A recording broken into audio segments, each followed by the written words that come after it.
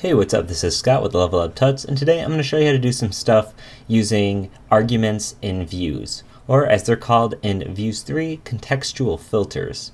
So to do these contextual filters, I'm going to do something kind of interesting, and we're going to do it on a block view. Um, so to give you guys an idea of what we're going to do, I'm going to add a new field to our project, and I want to say who the designer was, because I'm not going to be the designer of all of these projects. I do a lot of just web development for um, other designers or even at um, my job every day. So I want to be able to put up those projects as well because this isn't just um, a site for my freelance work, this is a site for all of my work. So I want to say who the designer was. So I'm going to make a new field that just says field designer. We're going to select, uh, it's going to be a text, uh, where is this? It's just going to be a text field. That's it, no big deal. I'll throw this up here and we'll save this. Okay. So uh, what I want is I want this text, uh, this designer field, I want this to appear in the right column of my projects. Let's go to our project right now. I'll add a designer, but let's just go to any of them. Projects. Uh, let's see, find content. Let's go to a project. Uh, let's go to Sass Mastery. Okay, so here's this project that I made. It's a, a video tutorial series I did Sass Mastery that um, is on the Tuts Plus Marketplace. So the content I have here is the image for the project. I have a paragraph sort of explaining what Sass Mastery is. And uh, but what I really want is I want the designer to be uh, in a column here. I don't necessarily want it to be in the same zone. So if you remember, if we look at our uh, regions, if we look at our blocks, let's check this out. You know, these are our regions, right? So featured, content, sidebar first. Uh, there's nowhere you can really say show up in, in the sidebar here, in the sidebar first. So what I'm going to do is I'm going to create a view. And what that view is going to be doing is it's going to be looking at this URL, determining what content piece I'm on, and it's going to display the proper content. Okay, so there are lots of other ways you could do this. Uh, this is a great thing about Drupal is there's all sorts of ways to do anything. So if you already know a way to accomplish this, feel free and do it the way you know how. But this is going to be using contextual filters with views. So let's get started. To get started, I'm actually just going to put in a designer in this, even though this is for me uh, and I designed this. So I'm going to put designer Scott Tolinski. Okay, cool. Save this. Great. So you can see it shows up right here. Uh, that's not quite where I want it. So let's go into views and we're going to create a new view. And this view is going to be a, a block view.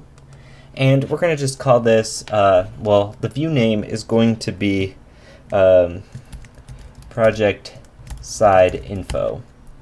Okay, and the block title, I'm not going to give it a block title. You don't have to. This is just, uh, you know, it's going to show up with nothing if you do. And I only want to want it to display one item per page because that one item is going to be the particular item from this piece of content. So let's continue and edit. Okay, so continue and edit. Here we are. It, right now it's saying, you know, let's see.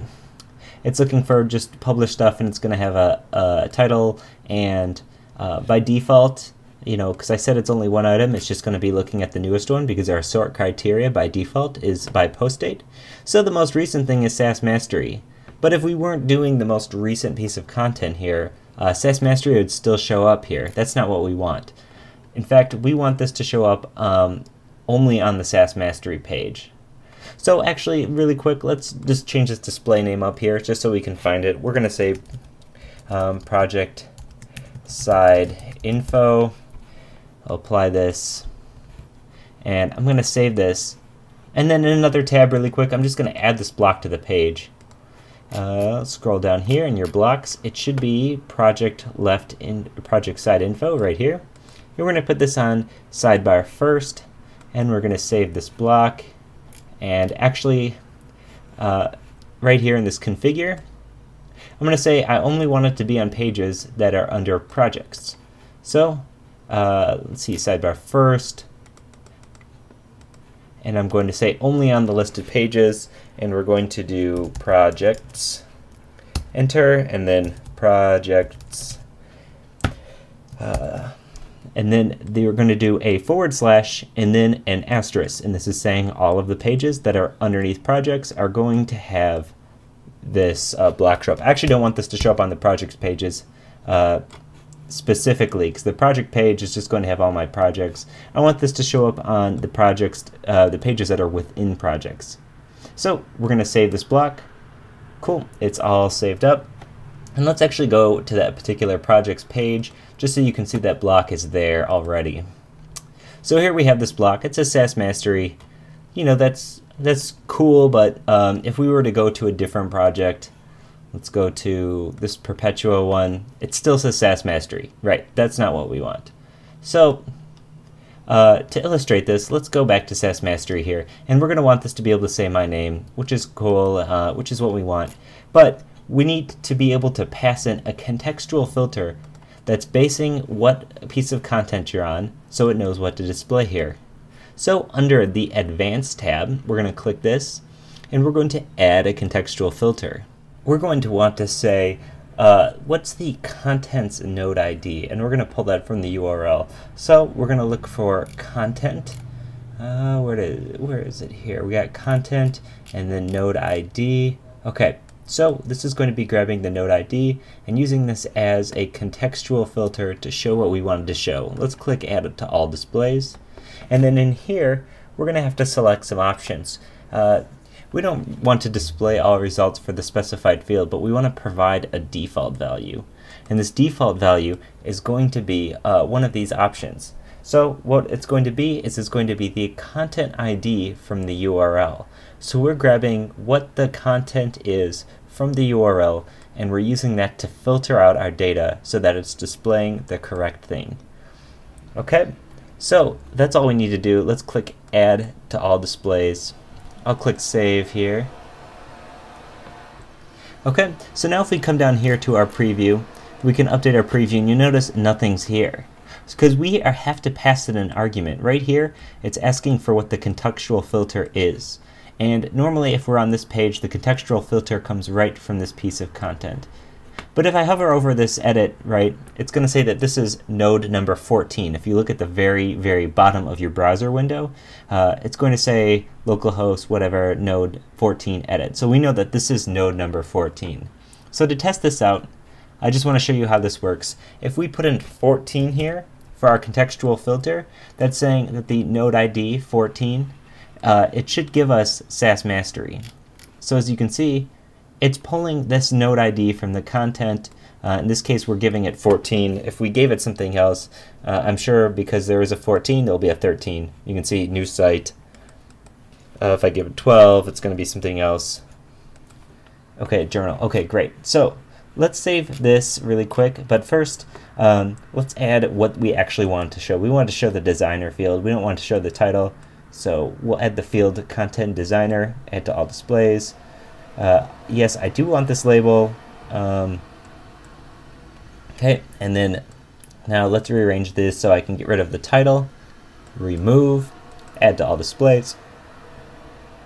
Okay, and now let's save this. Cool. Okay, so let's click out of this now, in our page, we refresh, okay, designer, Scott Tolinski, that's it. Let's go to another projects page. Uh, I believe uh, before we are on the perpetual one, so let's go back to that one. Um, find content. Okay, on this page, you can see designer. It doesn't have one because we didn't fill in that field yet. So let's click edit, designer. I also designed this one, so I'm going to say designer, Scott Tolinski. Cool, let's save this out. Cool. All right, well, there it is. So that is the contextual filters in your blocks. Uh, this is just using the node ID as a contextual filter. These contextual filters uh, offer a lot of options. So this is just an introduction, and, and by no means this is the definitive tutorial on uh, contextual filters here. We're going to be going a lot over uh, contextual filters and how they relate to page views, how they relate to uh, just block views and, and then views in general. So feel free to just play around with it, see what you can get, but using this node ID and then grabbing the content ID from the URL is how you're going to be able to display content from your own page that you're on right now, anywhere you please, with blocks and views. Cool. All right, well, this is Scott Tolinski again with Level Up Tuts, and thanks for watching. Uh, more Drupal tutorials on their way soon. Thanks. Bye.